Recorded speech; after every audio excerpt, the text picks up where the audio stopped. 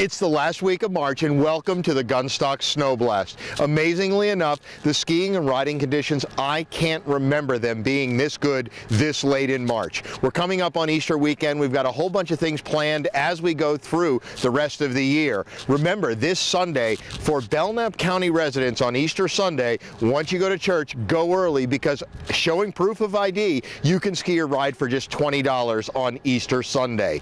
We've got a whole bunch of stuff happening right now.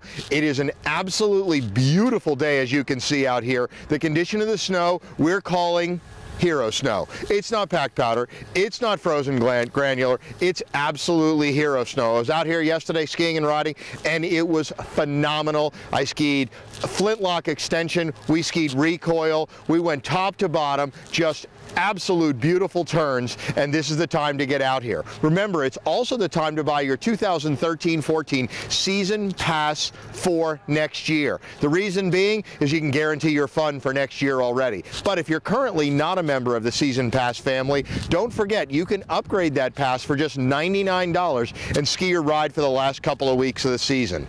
I will tell you that in all of my years of skiing, I have never seen skiing in the East Coast this good this late in March.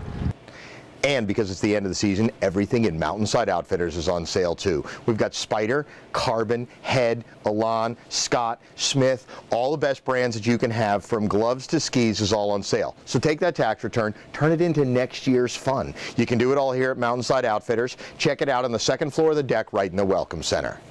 And coming up as our closing weekend, as we close on April 7th, on April 7th, it's the BYODC. Yes, our marketing coordinator, Jonah Fernal, he actually coined that. That's the bring your own dry clothes. Our snowmaking, our on snow staff is building the pond right now. It is going to be a pond skim, not a big pool. So we're going to actually put a whole bunch of people through the water. We've got live music on the stockade deck that day. We're going to have this massive blowout party on Sunday, April 7th. Make your plans now, you're going to need a costume. So give yourself some time to get out there. We'll see you at the Pond Skim and our closing day on April 7th.